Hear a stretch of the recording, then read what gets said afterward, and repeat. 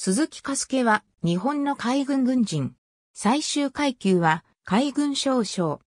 1914年の12月1日に退位となり、1915年12月13日に巡洋艦役務の分隊長。1917年9月15日には戦艦薩摩の分隊長を務めた。12月1日には戦艦日向偽装員。1918年の4月30日から12月1日まで分隊長を務めた。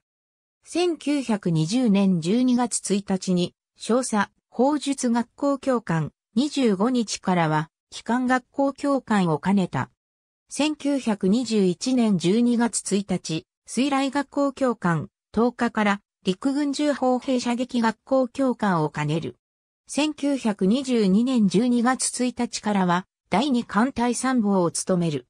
1924年12月1日には中佐教育局委員兼管制本部技術会議員。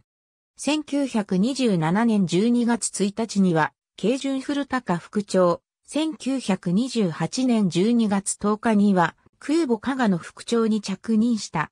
1929年11月30日には、大佐、航空本部総務部員。1932年9月26日から1933年8月25日まで、岩手艦長を務め、9月15日からは、佐世保交渉造兵部長となった。